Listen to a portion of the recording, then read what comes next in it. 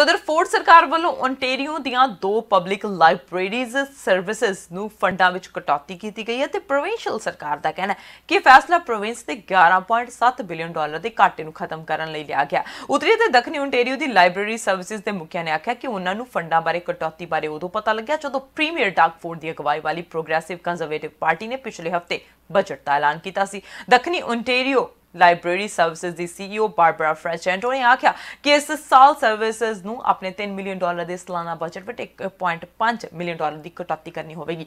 ਉਹ ਇਹ ਨਹੀਂ ਦੱਸ ਸਕੀ ਕਿ ਇਸ ਨਾਲ ਸਰਵਿਸ ਦੇ ਪੱਧਰ ਉੱਤੇ ਕਿਹੋ ਜਿਹਾ ਅਸਰ ਪਵੇਗਾ ਜਾਂ ਫਿਰ ਏਜੰਸੀ ਦੇ 42 ਸਟਾਫ ਮੈਂਬਰਸ ਵਿੱਚੋਂ ਕਿਸੇ ਦੀ ਛਾਂਗੀ ਕੀਤੀ ਜਾਵੇਗੀ। ਬਾਰਬਰਾ ਨੇ ਆਖਿਆ ਕਿ ਉਹ ਪਿਛਲੇ 31 ਸਾਲਾਂ ਤੋਂ ਇਸ ਸੰਸਥਾ ਦੇ ਨਾਲ ਜੁੜੀ ਹੋਈ ਹੈ ਤੇ ਇਸ ਵਿੱਚ ਕਈ ਤਰ੍ਹਾਂ ਦੀਆਂ ਤਬਦੀਲੀਆਂ ਵੀ ਉਹਨਾਂ ਨੇ ਦੇਖੀਆਂ ਨੇ।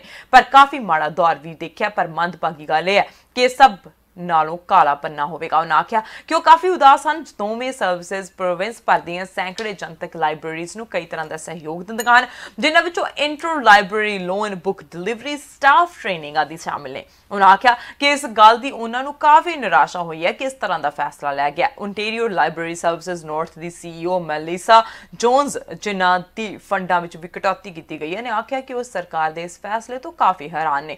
ਉਹਨਾਂ ਆਖਿਆ ਕਿ ਸਾਨੂੰ ਕਟੌਤੀਆਂ ਦਾ ਧਿਆਨ ਰੱਖਣਾ ਹੋਵੇਗਾ। ਉੱਤਰ ਵਿੱਚ ਫਰਸਟ ਨੇਸ਼ਨਸ ਅਤੇ ਪਬਲਿਕ ਲਾਇਬ੍ਰੇਰੀਜ਼ ਨੂੰ ਦਿੱਤੀਆਂ ਜਾਣ ਵਾਲੀਆਂ ਸਰਵਿਸਿਜ਼ ਦਾ ਵੀ ਮੁਲਾਂਕਣ ਕਰਨਾ ਹੋਵੇਗਾ। ਉਹਨਾਂ ਆਖਿਆ, ਇਸ ਸੰਬੰਧੀ ਫੈਸਲੇ ਕਰਨ ਤੋਂ ਪਹਿਲਾਂ ਉਹਨਾਂ ਨੂੰ ਸਭਨਾ ਦੀਆਂ ਵਿਲੱਖਣ ਲੋੜਾਂ ਦਾ ਧਿਆਨ ਵੀ ਰੱਖਣਾ ਹੋਵੇਗਾ।